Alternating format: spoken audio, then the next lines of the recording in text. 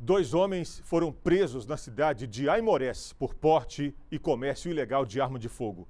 A polícia recebeu denúncia anônima via 190 e montou um cerco para abordar a dupla no local da negociação.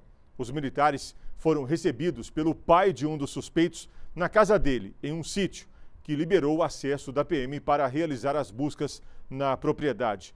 Após avistar as equipes, o homem tentou fugir pelos fundos foram localizadas as duas armas e os dois carregadores enterrados no quintal.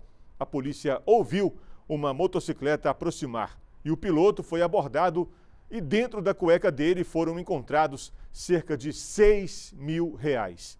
As duas pistolas calibre 380 e .40, 63 munições, além de uma bucha de maconha e dois celulares foram apreendidos. O total em dinheiro recolhido na operação policial é de R$ 7.280.